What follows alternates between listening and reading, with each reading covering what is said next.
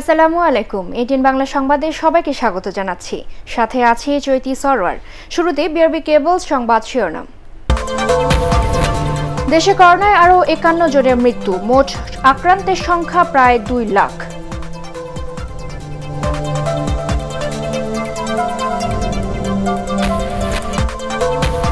প্রতারণার নমুনা পরীক্ষা নিয়ে, করোনার নমুনা পরীক্ষা নিয়ে প্রতারণা মামলায় আবারও দুদিনের রিমান্ডে ডাক্তার সাবরিনা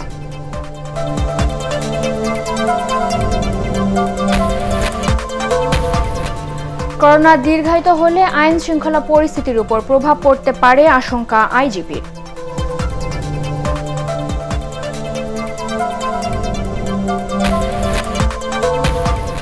উত্তরাঞ্চলের কয়েক জেলায় বন্যা পরিস্থিতির উন্নতি হয়নি। পানিতে ডুবে সিরাজগঞ্জে এক শিশুর মৃত্যু।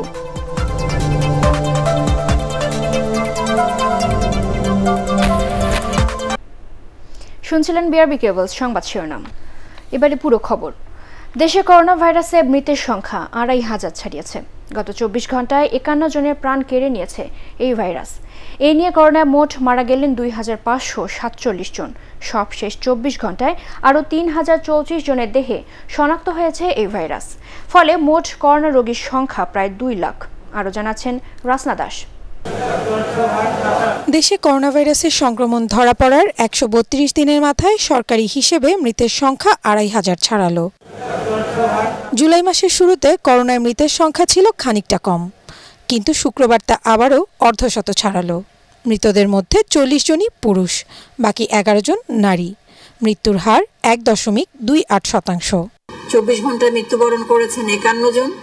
এ পর্যন্ত মৃত্যুবরণ করেছেন দুই হাজার পাঁচশো সাতচল্লিশ জন। শনাক্ত বিবেচনায় মৃত্যুর হার এক দশমিক দুই আট শতাংশ। চব্বিশ ঘন্টায় যারা মৃত্যুবরণ করেছেন তাদের মধ্যে পুরুষ চল্লিশ জন নারী এগারো জন। চব্বিশ ঘন্টায় তেরো হাজার চারশো ষাটটি নমুনা পরীক্ষা করা হয়।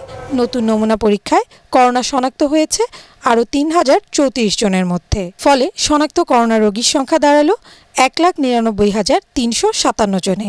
চব্বিশ ঘন্টায় যা নমুনা পরীক্ষা হয়েছে তাতে শনাক্ত হয়েছে তিন হাজার চৌত্রিশ জন। এ পর্যন্ত শনাক্ত এক লক্ষ নিরানব্বই হাজার তিনশো সাতান্ন জন। চব্বিশ ঘণ্টা শনাক্তের হার বাইশ দশমিক পাঁচ চার শতাংশ এবং এ পর্যন্ত শনাক্তের হার উনিশ দশমিক আট শূন্য শতাংশ। গত চব্বিশ ঘন্টায় সুস্থ হয়েছেন আরও এক হাজার সাতশো বাষট্টি জন। এতে মোট সুস্থ রোগীর সংখ্যা দাঁড়াল এক লাখ আট হাজার সাতশো পঁচিশ জনে। আর রোগী শনাক্ত বিবেচনায় সুস্থতার হার চুয়ান্ন দশমিক পাঁচ চার শতাংশ। রাস্তা দাস এটিএন বাংলা, ঢাকা। করোনা ও উপসর্গ নিয়ে দেশের বিভিন্ন জেলায় অন্তত আঠাশ জনের মৃত্যু হয়েছে। নারায়ণগঞ্জের পর এখন করোনার হটস্পট। বরিশাল। ডাক্তার, নার্স ও উপজেলা নির্বাহী কর্মকর্তা সহ সারা দেশে চব্বিশ ঘন্টায় করোনা শনাক্ত হয়েছেন কয়েকশো মানুষ। প্রতিনিধিদের তথ্যচিত্রের ভিত্তিতে রিপোর্ট করছেন সৈয়দ রিয়াজ। চব্বিশ ঘন্টায় বরিশালে মারা গেছেন আরও সাতজন। এর মধ্যে করোনা পজিটিভ হয়ে ছয় ও উপসর্গ নিয়ে একজনের মৃত্যু হয়। এ বিভাগে ডাক্তার, নার্স, পুলিশ সহ নতুন শনাক্ত হয়েছেন বিরাশি জন। সিলেটে করোনায় তিনজন এবং উপসর্গে একজন সহ মোট চারজনের মৃত্যু হয়েছে। এদের সবাই পুরুষ। এদিকে গত চব্বিশ ঘন্টায় সিলেট জেলায় করোনায় আক্রান্ত হয়েছেন চুয়ান্ন জন। খুলনা জেলা করোনা ডেডিকেটেড হাসপাতালে একজন ও উপসর্গ নিয়ে মেডিকেল কলেজ হাসপাতালে দুইজনের মৃত্যু হয়েছে। গত চব্বিশ ঘন্টায় খুলনায় ঊনসত্তর জন সহ বিভাগের দশ জেলায় দুশো একত্রিশ জন করোনা আক্রান্ত হয়েছেন। বগুড়া জেলায় করোনায় আরও দুইজন মারা গেছেন আর আক্রান্ত হয়েছেন সাতান্ন জন। কুমিল্লায় উপসর্গ নিয়ে মারা গেছেন চারজন। রংপুরে করোনা চিকিৎসার জন্য নির্ধারিত হাসপাতালে আরও তিনজনের মৃত্যু হয়েছে। নতুন শনাক্ত হয়েছেন তেপ্পান্ন জন। নারায়ণগঞ্জে গত চব্বিশ ঘন্টায় করোনা ভাইরাসে আক্রান্ত হয়ে একজনের মৃত্যু হয়েছে। উপসর্গ নিয়ে আরও একজন মারা গেছেন। আক্রান্ত হয়েছে তেইশ জন। ব্রাহ্মণবাড়িয়ায় মারা গেছেন আরও একজন। শনাক্ত হয়েছেন চিকিৎসক ও ব্যাংক কর্মকর্তা সহ আরও আটানব্বই জন। চুয়াডাঙ্গায় উপসর্গ নিয়ে মারা গেছেন জেলা দোকান মালিক সমিতির সভাপতি আসাদুল হক জোয়ারদার লেমন। নোয়াখালীতে করোনায় আক্রান্ত হয়ে মারা গেছেন একজন। শনাক্ত হয়েছেন বিশ জন। এছাড়া ময়মনসিংহে চব্বিশ, নাটোরের সদর ইউনো সহ একুশ জন, পটুয়াখালীতে বাইশ ও চাঁপাইনবাবগঞ্জে চোদ্দ জন নতুন শনাক্ত হয়েছেন। সৈয়দ রিয়াজ এটিএন বাংলা। করোনার নমুনা পরীক্ষা নিয়ে প্রতারণার মামলায় গ্রেফতার জেকেজি হেলথ কেয়ারের চেয়ারম্যান ডাক্তার সাবরিনা আরিফ চৌধুরীর আবারও দুদিনের রিমান্ড মঞ্জুর করেছে আদালত। ঢাকা মহানগর হাকিম মাসুদুর রহমান শুনানি শেষে এ আদেশ দেন। এর আগে তাকে আদালতে হাজির করে পাঁচ দিনের রিমান্ড চায় পুলিশ। আরও জানাচ্ছেন হুমায়ুন চিস্তি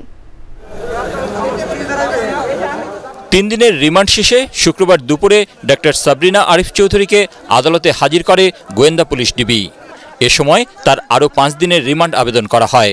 আর রিমান্ড বাতিল চেয়ে জামিন আবেদন করেন তার আইনজীবী। উভয় পক্ষের শুনানি শেষে জামিন নামঞ্জুর করার পাশাপাশি দুদিনের রিমান্ড মঞ্জুর করে আদালত। যে মামলাটি সারা বাংলাদেশে সমালোচনার ঝড় তুলেছে, যে আসামির কারণে আজকের বাংলাদেশের ভাবমূর্তি বিদেশেও চরমভাবে ক্ষুণ্ণ হচ্ছে, সাবরিনা আলীর কারণে যেহেতু বাংলাদেশের ভাবমূর্তি চরমভাবে বিকৃত হচ্ছে সেক্ষেত্রে এই মামলার সাথে আরও কেউ জড়িত আছে কিনা এবং অন্য কোনো প্রতিষ্ঠানের সাথে উনি জড়িত থেকে এই ধরনের অপকর্ম করেছেন কিনা, সেই বিষয়গুলো তুলে আনার জন্য এবং তার জালিয়াতির সমস্ত তথ্য উদ্ঘাটন করার জন্য মামলা সুষ্ঠু এবং নিরপেক্ষ তদন্তের স্বার্থে রিমান্ডের প্রয়োজন। সেক্ষেত্রে বিজ্ঞ আদালত আমাদের রাষ্ট্রপক্ষের বক্তব্য শুনে সন্তোষজনক মনে হয় এই আসামিকে পাঁচ দিনের ভিতরে দুই দিনের করে রিমান্ড মঞ্জুর করেছেন রিমান্ড বাতিল ও জামিন আবেদনে ডক্টর সাবরিনা জেকেজি হেলথ কেয়ারের চেয়ারম্যান ছিলেন না বলে আবারও দাবি করেন তার আইনজীবী। এছাড়া মামলার এজাহার নিয়েও প্রশ্ন তোলেন তিনি। চেয়ারম্যান হতে হলে অবশ্যই তার একটা মেমোরেন্ডামের উল্লেখ থাকতে হবে। আইনগতভাবে সে ওই কোম্পানির কেউ না। যেহেতু আইনগতভাবে কোম্পানির কেউ না সেই ক্ষেত্রে এই মামলায়ও সে আসতে পারে না। এফআইআরে কোনো ধরনের অপরাধের কোনো বিবৃতি নেই। আর যে এফআইআরে অপরাধের কোনো বিবৃতি থাকে না সেটা আইনের দৃষ্টিতে কোনো ধরনের এফআইআর হয় না। যদিও এই সাবরিনার নাম এজাহারে নাই কিন্তু তদন্তে বেরিয়ে আসতেছে ব্যাপ- ব্যাপক তথ্য বেরিয়ে আসতেছে। তার অপকর্মের সমস্ত তথ্য আজকের তদন্তকারী কর্মকর্তা বের করতে সক্ষম হয়েছেন। করোনা ভাইরাস পরীক্ষায় জালিয়াতির অভিযোগে দায়ের করা মামলায় গত রোববার ডক্টর সাবরিনা আরিফ চৌধুরীকে গ্রেফতার করে পুলিশ। পরদিন তাকে আদালতে হাজির করলে ঢাকা মহানগর হাকিম শাহিনুর রহমান তিন দিনের রিমান্ড মঞ্জুর করেন। করোনা পরীক্ষা না করেই প্রায় সাড়ে পনেরো হাজার ভুয়া রিপোর্ট দিয়ে তার প্রতিষ্ঠান প্রায় আট কোটি টাকা হাতিয়ে নিয়েছে বলে অভিযোগ রয়েছে। হুমায়ুন চিস্তি এটিএন বাংলা, ঢাকা। রিজেন্ট গ্রুপের ব্যবস্থাপনা পরিচালক মাসুদ পারভেজের ভাইরা গিয়াসউদ্দিন জালালিকে আশুলিয়া থেকে আটক করেছে র্যাব। তার কাছ থেকে উদ্ধার করা হয় রিজেন্ট গ্রুপের চেয়ারম্যান মোহাম্মদ শাহেদের সিল ও সই করা ব্যাংকের আটচল্লিশটি চেক। এ সময় গিয়াসউদ্দিনের প্রাইভেট কার চালক মাহমুদুল হাসানকেও আটক করা হয়। তার প্রাইভেট কারে তল্লাশি চালিয়ে উদ্ধার করা হয় ইয়াবাসহ বিভিন্ন ধরনের মাদকদ্রব্য। র্যাবের আইন ও গণমাধ্যম শাখার পরিচালক লেফটেন্যান্ট কর্নেল আশিক বিল্লা এসব তথ্য নিশ্চিত করেন। এ ঘটনায় আশুলিয়া থানায় মাদক আইনে মামলা করেছে র্যাব।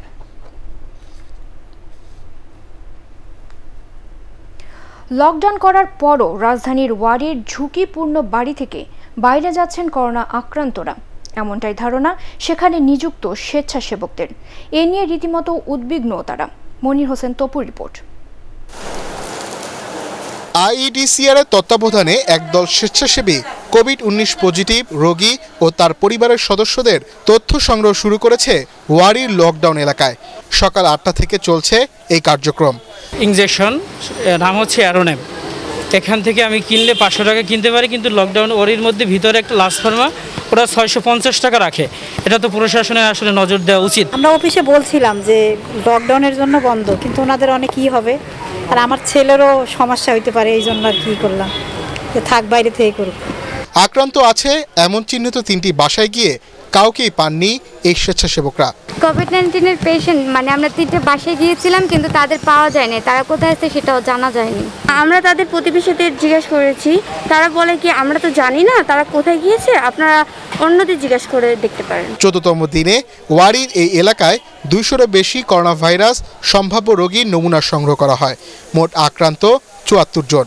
যারা আক্রান্ত তাদের ফ্ল্যাটে ফ্ল্যাটে যে আমরা খবর নিচ্ছি আমরা আজকে ওনাদের কি কি ই আমরা এটা জানতে পারব এবং ওনাদেরও কি প্রয়োজন আমরা বাসায় পৌঁছে দেওয়ার চেষ্টা করি ওনাদের মূল যেমন সামাজিকভাবে না বের হয় বাসায় থাকে। সংস্পর্শে আসা বা তার পরিবারের সাথে কথা বলা বা তার বাসায় যাওয়া তৃতীয় পড়া উচিত আপনি যখন কোভিড পেশেন্টের বাসায় যাবেন, তখন কিন্তু উচিত।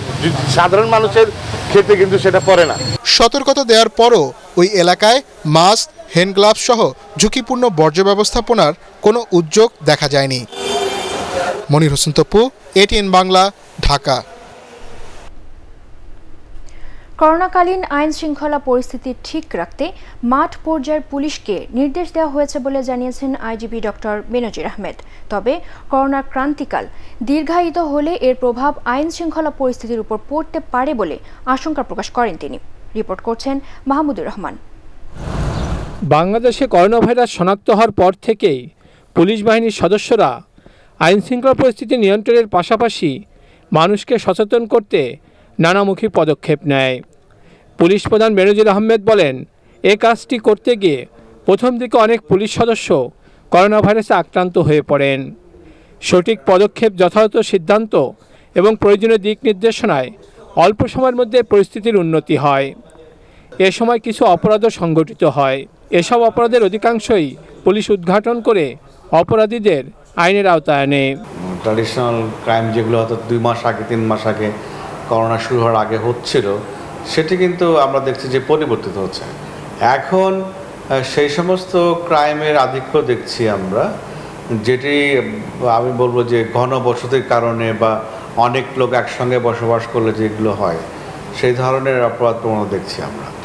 যেমন নারী নির্যাতন, শিশু ধর্ষণ, মারামারি, তুচ্ছ ঘটনা নিয়ে কন্দল, দলাদলি, মারপিট, এই ধরনের অপরাধ বেশি দেখছি আমরা। পুলিশ প্রধান আরও বলেন, করোনাকালীন সময় সরকারের না পদক্ষেপ সঠিক ছিল। মাননীয় প্রধানমন্ত্রী, আমরা যদি দেখেন না শুরু থেকে কিন্তু লাইফ অ্যান্ড লিভিংয়ের মধ্যে ডেলিকেট ব্যালেন্স করার চেষ্টা করেছেন। এবং আল্লাহ রসিম রহমতে এই ব্যালেন্স করার যে প্রয়াসটি, সেটি কিন্তু বাংলাদেশে বেশ সাকসেসফুল আমাদের যেমন শুরু থেকেই যারা প্রান্তিক আয় জনগোষ্ঠী, তাদেরকে খেয়াল রাখা হয়েছে। প্রায় দু মাস সরকার টানা রিলিফ অপারেশন করেছেন। করোনাকালীন সময় দীর্ঘায়িত হলে আইন শৃঙ্খলা পরিস্থিতির উপর এর কী প্রভাব পড়তে পারে সে বিষয়ে মাঠ পর্যায়ের পুলিশকে এরই মধ্যে দেওয়া হয়েছে দিক নির্দেশনা। কিন্তু যদি এটা এই ধরনের ক্রান্তিকাল দীর্ঘায়িত হয়, প্রলম্বিত হয় এবং সেটা যদি সরাসরি আমাদের প্রান্তিক জনগোষ্ঠীকে আঘাত করে তাহলে তো অবশ্যই এটা এই অর্থনীতির এই নেতিবাচক যে প্রভাব, সেটি অপ- আইন শৃঙ্খলা পরিস্থিতির উপর পড়তে বাধ্য। তো আমরা দেখছি, আমরা খেয়াল, আমরা এই প্যান্ডেমিক পুলিশিংয়ের বা এই অতিমারির সময়কার পুলিশ ল এনফোর্সমেন্টের যে এই চ্যালেঞ্জগুলো রয়েছে, সেগুলো পুলিশ সদর দপ্তর প্রতিনিয়ত এগুলোকে মূল্যায়ন করছে এবং সে অনুযায়ী আমরা আমাদের জনগণকে সুরক্ষা দেওয়ার জন্য সবসময় নিজেদেরকে প্রস্তুত রাখছি। সামাজিক, পারিবারিক এবং সম্পত্তি সংক্রান্ত অপরাধগুলো কমিউনিটি এবং বিট পুলিশের মাধ্যমে মীমাংসা করার উদ্যোগ নেওয়া হয়েছে বলে জানান পুলিশ প্রধান ডক্টর বেনজির আহমেদ। মাহমুদুর রহমান, এটিএন বাংলা, ঢাকা। সরকার করোনা ভাইরাস নিয়ন্ত্রণে রাখতে সক্ষম হয়েছে বলে দাবি করেছেন তথ্যমন্ত্রী ডক্টর হাসান মাহমুদ। চট্টগ্রাম সার্কিট হাউসে বিভিন্ন হাসপাতালে এস আলম গ্রুপের দেয়া চিকিৎসা সামগ্রী প্রদান অনুষ্ঠানে তিনি এ দাবি করেন। এ সময় তথ্যমন্ত্রী আরও বলেন, রিজেন্ট এবং জেকেজির বিষয়ে স্বাস্থ্য অধিদপ্তরের আরও সতর্ক হওয়া উচিত ছিল। তবে সরকার অপরাধীদের গ্রেফতার করে আইনের আওতায় এনেছে বলেও জানান তথ্যমন্ত্রী। সরকার এখানে যাতে কোনো ধরনের অনিয়ম, দুর্নীতি না থাকে, সেজন্য সরকার অবশ্যই স্বাস্থ্য অধিদপ্তরের এই কারণে আর একটু সতর্ক হওয়ার প্রয়োজন ছিল, সেটি আমি ব্যক্তিগতভাবে মনে করি। তবে সরকারই এগুলো উদ্ঘাটন এবং মাননীয় প্রধানমন্ত্রী জননেত্রী শেখ হাসিনা, সবাইকে সম্মিলিতভাবে প্রচেষ্টা চালিয়ে এই মহামারী দুর্যোগ মোকাবেলা করার জন্য আহ্বান জানিয়েছেন। কাঁচা চামড়া রফতানির অনুমতি না থাকায় কোরবানির সময় দেশের চামড়া ব্যবসায়ীরা যৌক্তিক মূল্যে চামড়া কেনেন না বলে মন্তব্য করেছেন জাতীয় পার্টির চেয়ারম্যান গোলাম মোহাম্মদ কাদের। তার মতে, কোরবানির চামড়ায় এতিমদের হক রয়েছে। গরিব ও এতিমরা পশুর চামড়া বিক্রি করে প্রকৃত মূল্য না পেয়ে ক্ষতিগ্রস্ত হয়। এ বিষয়ে সংশ্লিষ্টদের উদ্যোগী হওয়ার আহ্বান জানিয়েছেন বিরোধী দলীয় উপনেতা। জাতীয় পার্টির প্রতিষ্ঠাতা হোসেন মোহাম্মদ এরশাদের মৃত্যুবার্ষিকী উপলক্ষে রাজধানীর কাকরাইলে আয়োজিত স্মরণ সভায় তিনি এসব কথা বলেন। পরে দুস্থদের মধ্যে খাবার বিতরণ করেন জি এম কাদের। কোরবানির চামড়া নিয়ে আমাদের দেশে একটি অসৎ ব্যবসায়ী চক্র, এমন একটি ব্যবসা করে যাতে করে এই এতিমদের হক এবং ফকির মিসকিনদের হক তারা লুণ্ঠন করে নিয়ে যায়। তার কারণ হলো যে কাঁচা চামড়া বিদেশে রপ্তানি করা যায় না। কাঁচা চামড়া বেশি দিন রাখা যায় না। বিশ্ব বাজারে যে যে- দামে চামড়া বিক্রি হয়, আমাদের দেশেও সেই ঘরে হিসাব করে চামড়া বিক্রির ব্যবস্থা করতে হবে। যদি এটা করতে না পারেন, তাহলে প্রতিযোগিতার জন্য উন্মুক্ত করে দেন। স্মার্ট কার্ড সংকটে থমকে গেছে ড্রাইভিং লাইসেন্স দেওয়ার কাজ। বছরের পর বছর ঘুরেও স্মার্ট কার্ড পাচ্ছেন না আবেদনকারীরা। স্মার্ট কার্ড সরবরাহের টেন্ডার নিয়েও উঠেছে অনিয়মের অভিযোগ। কাজ দেওয়া হচ্ছে মাদ্রাস সিকিউরিটিজ প্রিন্টার্স নামের একটি ভারতীয় প্রতিষ্ঠানকে। আধার কার্ডে অনিয়মের অভিযোগে যাদের আজীবন নিষিদ্ধ করেছে দেশটির সরকারি সংস্থা। মাহবুব কবির চপলের রিপোর্ট। একটা সময় লাইসেন্সের জন্য পুলিশ ছুটত মানুষের পেছনে। এখন মানুষ ছুটছেন বিআরটি এর পেছনে। টাকা জমা দিয়েও স্মার্ট কার্ড পেতে অপেক্ষা বছরের পর বছর। এতে ঝুলে গেছে পঁচিশ লাখের বেশি আবেদন। তারাই যে আসলে বলে হয় নাই হয়ে যাবে প্রসেসিং এ আছে। এভাবে বলতে বলতে দুই বছর যাবত আর কি রেগুলার আমার কন্টিনিউয়াস তিন মাস চার মাস পর পর আসতেই হইতেছে। পুলিশ মামলা দেয়? এখন তো নাকি আরও হ্যাঁ ডিজিটাল নাম্বার প্লেট সবই আছে, কারণ গাড়ির একটা যে স্মার্ট কার্ড দেয়, ওই কার্ডটার যে একটা ডেট স্লিপ দিয়েছিল, ওটা ওভার হয়ে গেছে। দু হাজার ষোলো সাল থেকে স্মার্ট কার্ড সরবরাহ করছে টাইগার আইটি দু হাজার একুশ সালের মধ্যে পনেরো লাখ কার্ড দেওয়ার চুক্তি থাকলেও এরই মধ্যে বিতরণ করা হয়েছে প্রায় সাড়ে চোদ্দ লাখ। নতুন পঁয়ত্রিশ লাখ কার্ডের জন্য দু হাজার উনিশ সালের জুনে দরপত্র আহ্বান করে বিআরটিএ কাজ পায় ফ্রান্সের একটি প্রতিষ্ঠান। তবে বিভিন্ন কারণ দেখিয়ে তা বাতিল করা হয়। আমাদের কাছে মনে হচ্ছে কোনো একটা কনসপ্রাইসি এইখানে কাজ করছে। যদি কর্তৃপক্ষ কোনো কারণে ভুল ভেন্ডরকে সিলেক্ট করে তাহলে যে প্রজেক্টের যে উদ্দেশ্য এবং সাফল্য সেটা হয়তো ব্যাহত ঘটবে। প্রথমবার ব্যর্থ হলেও দ্বিতীয় দফায় কাজ পায় ভারতীয় প্রতিষ্ঠান Madras securities printers private limited. পাঁচ লাখ বাড়িয়ে অর্ডার দেওয়া হয় চল্লিশ লাখ কার্ডের। দরপত্রে বিভিন্ন শর্তের মধ্যে ছিল, কোনো প্রতিষ্ঠানের বিরুদ্ধে পাঁচ বছরের মধ্যে মামলা থাকলে অযোগ্য বলে বিবেচিত হবে। কিন্তু মাদ্রাস সিকিউরিটিজ প্রিন্টার্সের বিরুদ্ধে আছে অনেক অভিযোগ। খোদ নিজ দেশে আধার কার্ডের তথ্য জালিয়াতির ঘটনায় তাদের আজীবন নিষিদ্ধ করে সরকারি সংস্থা ইউনিক আইডেন্টিফিকেশন অথরিটি। আর ফৌজদারি অপরাধে কেনিয়ায় একাধিক মামলা বিচারাধীন প্রতিষ্ঠানটির বিরুদ্ধে। এমনকি বিএমইটির মাত্র পাঁচ লাখ ইমিগ্রেশন কার্ডও সরবরাহ করতে পারেনি তারা। তারপরও তাদের সাথে চুক্তির শেষ পর্যায়ে বিআরটিএ। অভিযোগ আছে, এর পেছনে কিছু কর্মকর্তার যোগসাজশ। দেখেন একটা জিনিস যদি কারও কাছে আগে থেকে ইয়ে না থাকে আমরা কি ইন্ডিয়াতে গিয়ে ওইটা এই টেন্ডার রেগুলেশন করে আমরা কি ওইটাতে করতে পারব? যে এটা তো আর কেউ জানায় না। কেউ যদি এটা অন্যভাবে এখন যেরকম জানতে পারছি আর এই পর্যায়ে তো কিছু আর করার নেই। প্রথম তাদের পারফরমেন্সে গিয়ে যদি আমরা এরকম পাই তাহলে আমরাও ব্ল্যাক লিস্টেড করে দেবো। তাছাড়া তো কোনো উপায় নাই। ড্রাইভিং লাইসেন্সের ধীরগতির কারণে শুধু যে ভোগান্তি হচ্ছে তা নয়, কোটি কোটি টাকা রাজস্ব হারাচ্ছে সরকার। এর জন্য বিআরটি এর গাফিলতিকে দায়ী করা হচ্ছে। সমস্যার দ্রুত সমাধান চাইছেন ভুক্তভোগীরা। মাহবুব কবির চপল এটিএন বাংলা, ঢাকা। টানা তিন সপ্তাহেও বন্যা পরিস্থিতির উন্নতি নেই উত্তরাঞ্চলের কয়েকটি জেলায়। দীর্ঘ সময় চর ও নিম্নাঞ্চলের ঘরবাড়ি পানিতে ডুবে থাকায় দুর্ভোগে দিন পার করছেন বন্যা কবলিত মানুষ। পানিতে ডুবে সিরাজগঞ্জে এক শিশু মারা গেছে। প্রতিনিধিদের তথ্যচিত্রের ভিত্তিতে রিপোর্ট করছেন এস এম আশরাফ থাকার কথা ঘরের ভেতর, অথচ তাদের অবস্থান এখন নৌকাতে। দুর্গত কেউ কেউ আশ্রয় নিয়েছেন ঘরের চালে। এই দৃশ্য জানান দিচ্ছে কুড়িগ্রামে বন্যার ভয়াবহতা। ব্রহ্মপুত্র ও ধরলার পানি বাড়তে থাকায় সহসায় স্বাভাবিক জীবনে ফেরার লক্ষণ নেই সেখানে। বাড়ছে বিশুদ্ধ খাবার পানি ও শুকনো খাবারের সংকটও। আর কি লিপটিলে আমার কোনো কিছুই পাই নাকি বর্তমান। এই অবস্থায় খাই না খাই এই অবস্থায় আর কি আছে। তিনশোটা পরিবার এই পানি বন্দি রয়েছে আজ বিশ বাইশ দিন থেকে। এতে আমি এ পর্যন্ত চাউলও দিতে পারি নাই। যেহেতু সরকার দেয় নাই আমিও দিতে পারি নাই। সিরাজগঞ্জে ফুসে উঠছে যমুনার পানি। তাতে জেলার অভ্যন্তরীণ নদ নদীর পানিও বৃদ্ধি পাচ্ছে। পানিবন্দী হয়ে পড়েছেন লক্ষাধিক মানুষ। সিরাজগঞ্জের চৌহালিতে বন্যার পানিতে মারা গেছে এক শিশু। নাটোরের সিংড়ায় আত্রাই নদীর পানি বেড়ে যাওয়ায় বোঝার উপায় নেই। এখানে কিছুদিন আগেও লোকালয় ছিল। প্রচণ্ড বেগে পানি প্রবেশ করছে ফসলি জমিতে। দুই শতাধিক মানুষ পরিবার সেখানে পানিবন্দী হয়ে পড়েছে। বন্যা পরিস্থিতির অবনীতি হয়েছে বগুড়া ও জামালপুরে। সবখানি দুর্ভোগের চিত্র একই রকম। মানুষ এবং গবাদি পশুর খাদ্য সংকট বিশুদ্ধ পানি নেই। তবে নেত্রকোনা ও সুনামগঞ্জে বন্যার পানি কিছুটা কমতে শুরু করেছে। S M Ashraf, ATN Bangla.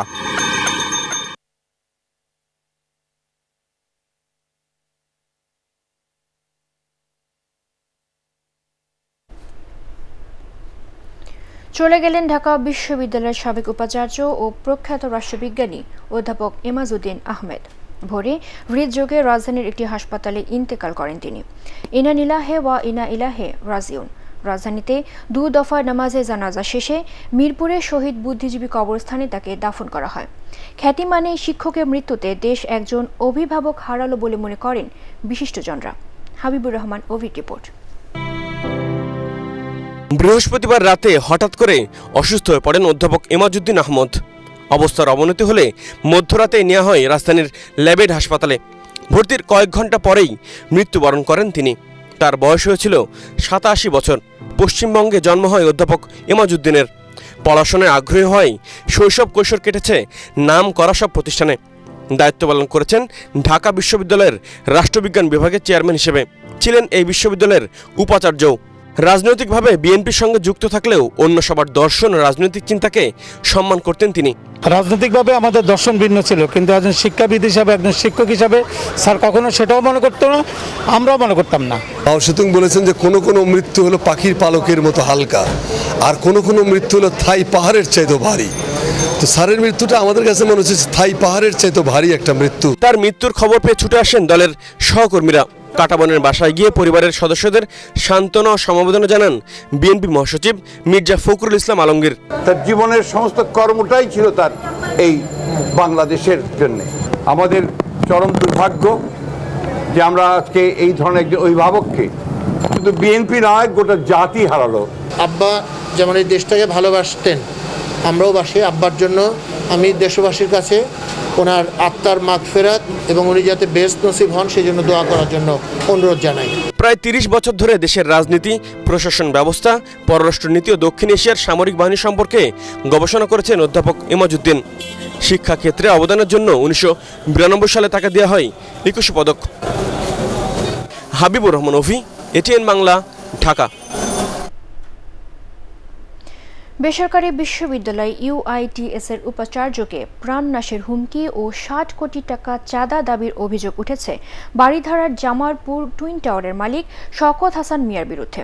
PHP family প্রতিষ্ঠিত ইউআইটিএস বিশ্ববিদ্যালয়ে দায়ের করা আরেকটি জালিয়াতির মামলায় পিবিআই এরই মধ্যে চার্জশিট দাখিল করেছে। বিশ্ববিদ্যালয় কর্তৃপক্ষের দাবি, দ্রুত সময়ের মধ্যে তাদের করা চাঁদাবাজির মামলার রিপোর্ট দিয়ে আসল ঘটনা উদ্ঘাটন করবে পুলিশ। বিস্তারিত জানাচ্ছেন শফিকুল ইসলাম শামীম। প্রতিষ্ঠার পর থেকে দু হাজার উনিশ সাল পর্যন্ত রাজধানীর বাড়িধারার জামালপুর টুইন টাওয়ারে শিক্ষা কার্যক্রম পরিচালনা করে পিএসপি ফ্যামিলির university of information technology and science একই বছরে ভাটারায় নিজস্ব ক্যাম্পাসে যাওয়ার পর থেকে জামালপুর টুইন টাওয়ারের মালিক শওকত হাসান বিভিন্ন সময়ে পাওনা টাকার মিথ্যা অভিযোগ তুলে আসছেন। চুক্তি অনুযায়ী ইউআইটিএস ভাড়ার সব টাকা অগ্রিম পরিশোধ করে দিলেও এর বাইরে বিভিন্ন সময় সার্ভিস চার্জ সহ এবং বিভিন্ন ইউটিলিটি চার্জের নামে টাকা নিয়েছেন শওকত হাসান। কিন্তু যখনই বিশ্ববিদ্যালয়টি জামালপুর ভবন ছেড়ে দেন, তখনই জাল জালিয়াতির আশ্রয় নিতে থাকেন বঙ্গলীগের সভাপতি পরিচয় দানকারী এই শওকত হাসান। চুক্তি অনুযায়ী ইউআইটিএস সমস্ত টাকা তাকে পরিশোধ করে দেয় কিন্তু যখন ইউআইটিএস তার মেইন ক্যাম্পাসে চুক্তির মেয়াদ শেষে চলে আসবে, সে সময়ে যে মামলার ঘটনা যেটা দেখা যাচ্ছে শৌকত হাসান মিয়া অনৈতিকভাবে অবৈধভাবে প্রায় ষাট কোটি টাকা পর্যন্ত দাবি করে দাবি করেছে। ইতিমধ্যে সমস্ত কেসগুলো ইতিমধ্যে প্রমাণিত হয়েছে তদন্ত পর্যায়ে যে তিনি হুমকি এবং চাঁদাবাজি এবং সন্ত্রাস এগুলো করে ইউআইটিএস থেকে টাকা হাতিয়ে নেওয়ার জন্য চেষ্টা করছেন। উনি একটি চিঠির মাধ্যমে প্রথমে দশ কোটি পরে পঁচিশ কোটি এরপরে উনচল্লিশ কোটি বিভিন্ন সময়ে বিভিন্ন সময় গিয়ে টাকার পরিমাণ বেড়েছে। পুলিশ আইন শৃঙ্খলা বাহিনী সকলেই তাদের স্ব স্ব অবস্থান থেকে একটি বিশ্ববিদ্যালয়কে সহযোগিতা করবেন। বিশ্ববিদ্যালয়ের স্বাভাবিক কার্যক্রম পরিচালনার জন্য।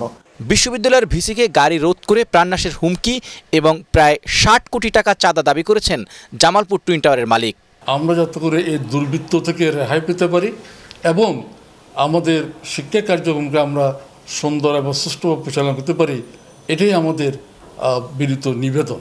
উল্টো ইউআইটিএস বোর্ড অফ ট্রাস্টির চেয়ারম্যান আল্লাহ সুফি মিজানুর রহমানের বিরুদ্ধে সিএমএম আদালতে মামলা দায়ের করেন শওকত হাসান। পরে পুলিশ ব্যুরো অব ইনভেস্টিগেশন, পিবিআইয়ের অনুসন্ধানে দেখা যায়, সুফি মিজানুর রহমান সাহেবের স্বাক্ষর নকল করে জাল বায়নাপত্র করেছিল অভিযুক্ত জামালপুর টুইন টাওয়ারের মালিক। আমরা দুইটি মামলাই একসাথে তদন্ত করি। তদন্ত করে দেখা গেছে যে যে ওনার যে বাইশ কোটি টাকার যে দাবি, সেই বাইশ কোটি টাকা আসলে দশ বছর আগেই দেওয়া হয়েছে এবং উনি চুক্তি শেষ হওয়ার পর চলে যাওয়াতে উনি কিছু হয়তো এমনি হঠাৎ করে এতগুলো ভাড়া চলে যাওয়াতে উনি বোধহয় কি ফিল করছেন? উনি দাবি করছেন যে আমি টাকা পয়সা পাই নাই এবং উনি অতিরিক্ত দাবি করে একটি মামলা করেছেন।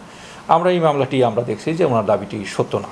এদিকে চাঁদাবাজির মামলায় ডিএমপির ভাটারা থানা তদন্ত রিপোর্ট দিতে গড়িমসি করছে এমন অভিযোগ বিশ্ববিদ্যালয় কর্তৃপক্ষের। তবে গুলশান জোনের ডিসি জানান অধিকতর তদন্তের জন্য কিছুটা সময় নেওয়া হচ্ছে। পুঙ্খানুপুঙ্খানু অনুসন্ধানের জন্যই আমরা নিবিড়ভাবে তদন্ত করছি এবং এই নিবিড়ভাবে তদন্ত সাপেক্ষে তদন্তে আমাদের যে ধরনের ফলাফল আসবে তার ভিত্তিতে এখানে পুলিশ রিপোর্ট প্রদান করা হবে।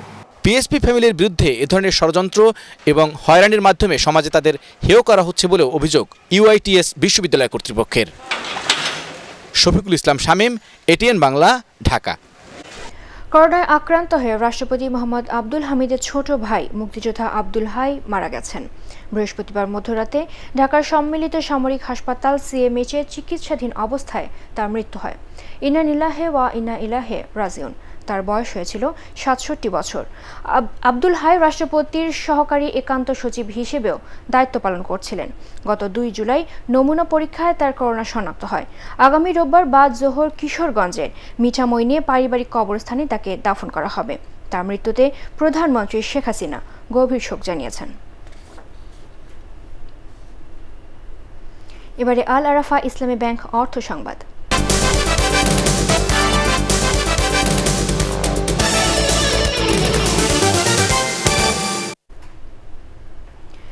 রাজধানীর বাজারে এখন কাঁচা মরিচের দাম, কেজি প্রতি দেড়শো টাকার বেশি। বন্যায় আবাদ নষ্ট হওয়ায় মরিচের সংকট দেখা দিয়েছে বলে দাবি করছেন বিক্রেতারা। তবে কোরবানি ঈদের আগে কমেছে মশলার দাম। মমিনুর রিপোর্ট। উত্তরাঞ্চলে বন্যা আর সরবরাহ ব্যবস্থার অজুহাতে সপ্তাহের ব্যবধানে অনেক বেড়েছে কাঁচামরিচের দাম। কারণ বাজারের পাইকারি মোকামে উত্তরাঞ্চল থেকে কাঁচামরিচ বিক্রি হচ্ছে প্রতি কেজি দাম একশো বিশ থেকে একশো চল্লিশ টাকা দরে। আর খুচরা বাজারে প্রতি কেজি এ দাম আরও তিরিশ থেকে চল্লিশ টাকা বেশি। গত সপ্তাহে ছিল আশি, পঁচাশি, নব্বই। এ সপ্তাহে একশো বিশ পঁচিশ।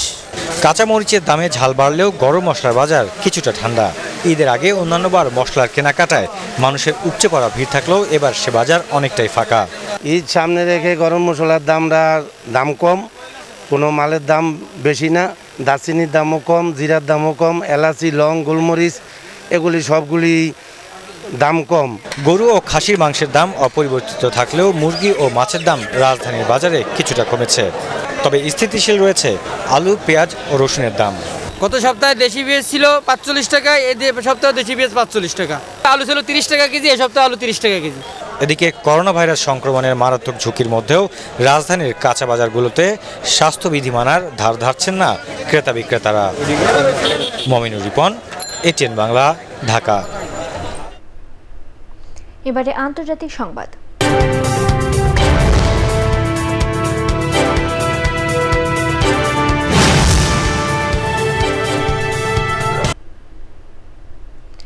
বিশ্বজুড়ে করোনা ভাইরাসে আক্রান্তের সংখ্যা এক কোটি আটত্রিশ লাখ ছাড়িয়েছে।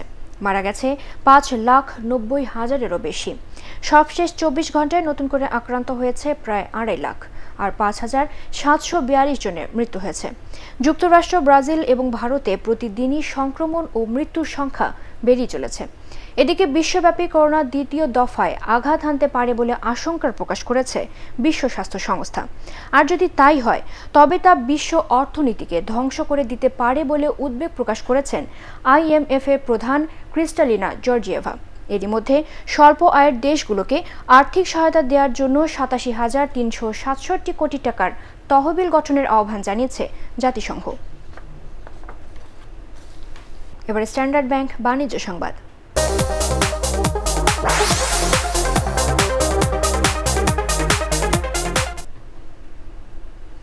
করোনা ভাইরাসের কারণে এবছর কোরবানির গরুর দাম কমে যাওয়ার আশঙ্কায় উদ্বিগ্ন যশোরের খামারিরা। স্থানীয় পশু ব্যবসায়ীরা জানান, যে পরিমাণে গবাদি পশু আছে তা দিয়ে জেলার চাহিদা মিটিয়ে অন্য জেলায় সরবরাহ করা সম্ভব। জেলার প্রাণী সম্পদ কর্মকর্তা ডক্টর শফিউল আলম জানান, এবছর খামারিদের পশু পরিবহনের জন্য বিশেষ ট্রেনের ব্যবস্থা করেছে সরকার। যশোরের পুলিশ সুপার আশরাফ হোসেন জানান, কেউ যেন যত্রতত্র হাট বসাতে না পারে, সেদিকে নজরদারি বাড়ানো হয়েছে। এছাড়াও ক্রেতাদের অনলাইনে গরু কিনতে উৎসাহিত করা হচ্ছে। এবারে পার্ট এক্স খেলার খবর।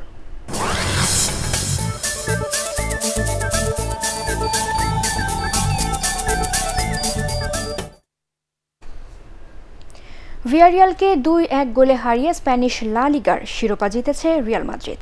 এ নিয়ে চৌত্রিশ বার লিগ শ্রেষ্ঠত্ব অর্জন করল লস ব্লাঙ্কোরা। দুই মৌসুম আগে সব শেষ শিরোপাটাও জিনেদিন জিদানের হাত ধরেই জিতেছিল রিয়াল মাদ্রিদ। এস এম আশরাফের রিপোর্ট। মঞ্চটা তৈরি ছিল।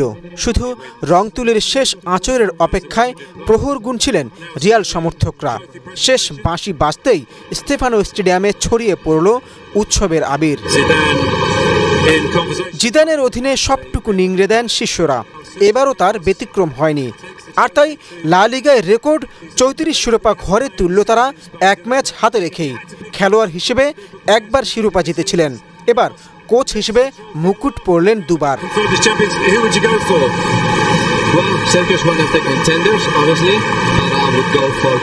অথচ করোনার কারণে লিগ বন্ধ হওয়ার আগে বার্সার পেছনে ছুটছিলেন রামোসরা। তবে হার না মানার মানসিকতাতেই শেষ পর্যন্ত ধরা দিল শিরোপা। রিয়াল জিতল টানা দশ ম্যাচ। করিম বেনজেমার জোড়া গোলে ভিয়ারিয়াল বাধা টপকে যায় লস ব্লাঙ্কোসরা। রিয়াল মাদ্রিদকে এ পর্যন্ত এগারোটি ট্রফি এনে দিয়েছেন এই ফরাসি কোচ। লালিগার পর এবার তাদের মিশন চ্যাম্পিয়ন্স লিগ। ম্যাচ শেষে কোচকে শূন্য ছুরি দিয়ে রিয়াল ফুটবলাররা যেন জানান দিচ্ছিলেন, কোচ খেলোয়াড়ের এই রসায়নে তাদের কোনো লক্ষ্যই আরাধ্য নয়। S M Ashraf ATN Bangla. পরবর্তী সংবাদ দেখার আমন্ত্রণ জানিয়ে এখনকার মতো শেষ করছি। সবে ঘরে থাকুন নিরাপদে থাকুন। এছাড়া এটিএন বাংলা সংবাদ ইউটিউবে দেখতে ব্রাউজ করুন YouTube slash ATN Bangla news ধন্যবাদ সবাইকে।